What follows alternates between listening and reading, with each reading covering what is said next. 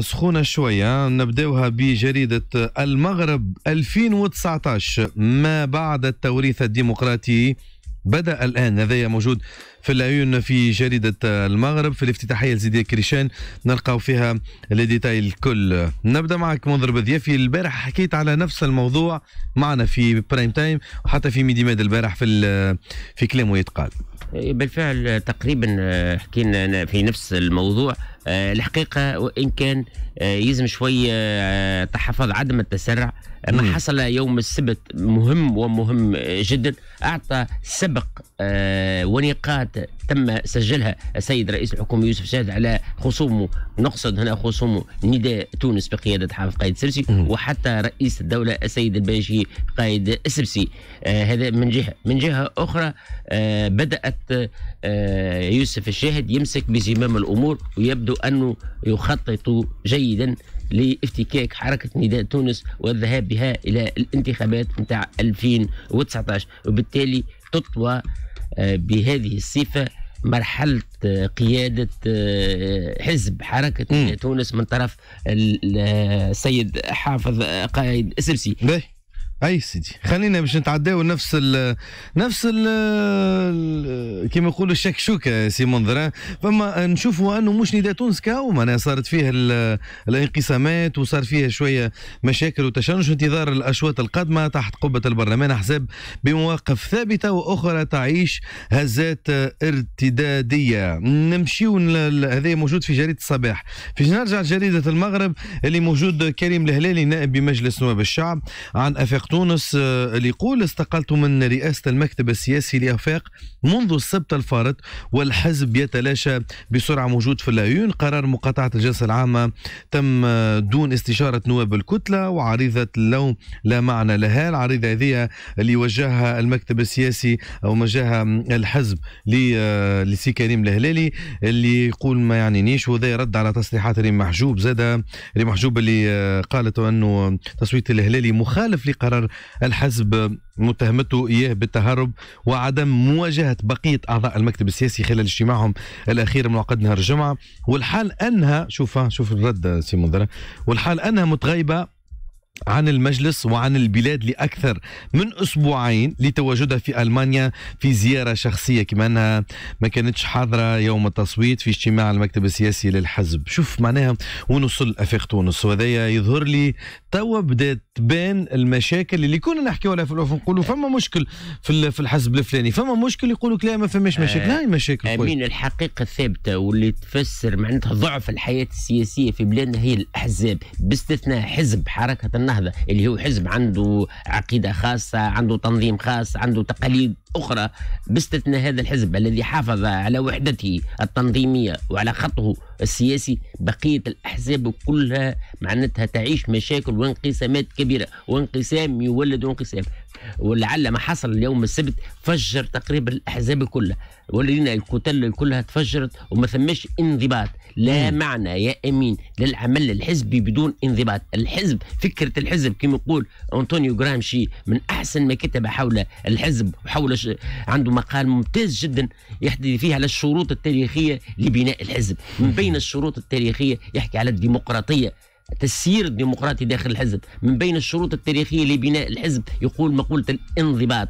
هذه كلها لا ثم ديمقراطية في التسيير لا ثم انضباط في التسيير لا ثم حتى شيء للأسف الشديد أحزاب هي على ملك صاحب البتين ده. كما قال آه سيناجي جلول يقول أنا حزب ولد مو صاحب البتين ده ذاك هو معناتها اللي يملك الرخصة هو اللي يملك الحزب. ولذلك عندنا في تونس أحزاب معناتها تتسمى باسمها حزب نشيب الشابي حزب محمد همامي حزب ولد الباشي حزب آه، معناتها حزب عائلات معناها بيتي تاع. وأفاق مثلا على أفاق. أنا دائما الحقيقة مراش حزب. أنا راه كلوب نادي نتاع جماعة يعملوا في شيخة يقعدوا شوية كي حالفهم الحظ أما راهو أنت النادي اللي تحكي عليه هذا راهو دخل الانتخابات و...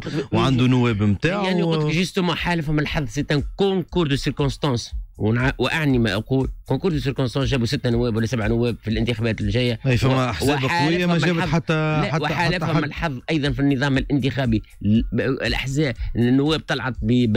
بالفواضل وتعرف النظام الانتخابي ما ندخلوش في التفاصيل نتاعو. لو نذهب إلى نظام انتخابي آخر ما تلقاهمش حاضرين في المشهد. على لا كل. الحزبي ولا البرلماني. على كل إحنا خلينا نكملوا معناتها في ردود الأفعال. وأهم العناوين اللي موجودة الصحافة اللي هي يظل لي اختارت عنوان في الصفحة الخامسة. أو كان موجود اللوطه قريتو سي منذر. قال لك النداء ينا- يناور والحسم بيد رئيس الجمهورية بعد منح ثقة لوزير الداخلية. معناتها كأنه العنوان هذا يعزي في النداء يعزى فيه. معناتها هنا آه، مش في باله صديقي الكاتب المقال أنه النداء يناور. النداء تفكك منذ فترة. معناتها يهز له في ال moral بالتونسي. النداء حزب. تفكك وتلاشى وانقسم ومشى لقشة في لقشة. هذه حقيقة وعلى النداء دين أنه يقر بها. وإعادة ترميم هذا الحزب وإعادة بنائه من جديد في صراحة مهمة صعبة وصعبة من جدا c'est une mission presque في تقديري impossible. إلا إذا معناتها مؤتمر حزب عاجز من عام 2012 على أنه يعمل مؤتمر نتاعو حزب يسير معناتها بطريقة اعتباطية بطريقة شخصية جدا الحقيقة آه قبل كنا نحكوا على الشروط التاريخية هذه لا عنده لا شروط تاريخية ولا شروط جغرافية أصلا. هذه حاجة شكشوكة تونسية مع آه استثنائية الحقيقة آه أختم بكلمة واحدة. أنه حزب نداء تونس بالقيادة نتاعو الحالية وبالتركيبة نتاعو الحالية غير قادر أن يستمر ولا خلينا نكملوا آه، آه، الأهم العناوين الأخرى في نفس الموضوع نفس الجريدة الصحافة في في العيون زاد في كلمة رئيس الحكومة أمام نواب الشعب. التبشير بتحسن المؤشرات يعمق أزمة الثقة.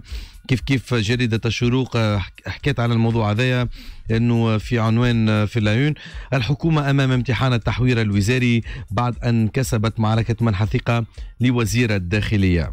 إحنا قبل آه، قلنا السياسيين آه، رئيس الحكومة سيد آه، يوسف آه، الشاهد الشاهد. كسب مهم. نقاط خليل ما فيش طيب، كلام ما فيهاش كلام تري بيان لكن التحدي الأكبر أمام يوسف الشاهد هو من هنا لأكتوبر كيف سيتصرف مع أوضاع البلاد المتفجرة نقصد أوضاع البلاد المتفجرة على المستوى الحياة المعيشية على مستوى غلاء الأسعار على مستوى بلاد ما فيهاش أكثر من 200 نوع كنت نقرأ في تحقيق تو نتاع دواء. معناتها مصيبة كبيرة على مستوى شح الموارد المائية على مستوى تحقيق انتظارات الناس السياسة الناس يحبوا آه باش يصوتوا. وب- وباش لازم تكون تحقيق مطالب وانتظارات الناس الحقيقة حكومة يوسف الشاهد ويوسف الشاهد تواجهوا معناتها المعارك كبيرة وكبيرة جدا. اختلف من الجانب السياسي إنما الجانب آه، الاستحقاق المجتمعي. طيب. كيف سيواجه الشاهد وحكومته؟ معناتها استحقاقات صعبة وصعبة جدا. وهل وهنا قالوا باش يذهب إلى تحويل وزاري الحقيقة الحمو آه، يوسف الشاهد مطالب بترميم حكومته ومعناتها وبناس كفاءات قادرة على مجابهه الكوارث تعيش فيها البلاد. على كل هذايا هل نستناو الايامات القادمه كيفاش باش تكون آه، الحكاية الصباح آه، في آه، في نفس الموضوع تزمه الصمت. هل كسب الشاهد ود المنظمة الشاغله تتساءل هوني؟ والمغرب في نفس الموضوع استحوذ وين لها ورغم التصويت على منح الثقة لوزير الداخلية اتحاد الشغل ما زال يتمسك بتغيير الحكومة ويؤكد انه عناصر فشلها ما زالت قائمة إلى اليوم. آه، نكملوا بالموضوع هذايا وكمان يظهر لي خذا حظ الموضوع هذايا ولا مازال عند- عندك متعلق على اتحاد الشغل. آه، اتحاد الشغل. أنا في تقديري اتحاد الشغل هو في نفسه تواجه تحديات كبيره العمل النقابي في تونس بالطريقة القديمة الحقيقة اللي تعرفنا عليها في السنوات الأخيرة ما عادش ينجم يستمر. ثم برشا اتحاد الشغل هو في نفسه مطالب بترميم صورته. برشا توانسة متغشين على اتحاد الشغل وبرشا توانسة وعلاش؟ يح... سامحني وبرشا توانسة يحملوا اتحاد الشغل مسؤولية مثلا ترى ال... ال... ال... ال... تعطل العمل مسؤولية معناتها إرهاق المؤسسات ب- بألاف تم انتدابها معناتها و- و- ولدرجة أنها بركت. الحقيقة العمل النقابي في إلى تطوير في بلادنا. ومن ذلك مثلا أنه آه، التدخل المباشر في الشأن السياسي معناتها أضر زاد بصورة الاتحاد العام التونسي للشغل. أنا تو منذ يومين آه، أمين تم الإعلان من طرف إحدى النقابات آه، النقل على انهم باش يعملوا إضراب عام بيومين واحد واثنين في كل المطارات التونسية. تعرف ردود الأفعال كانت سلبية جدا من طرف التوانسه الكل.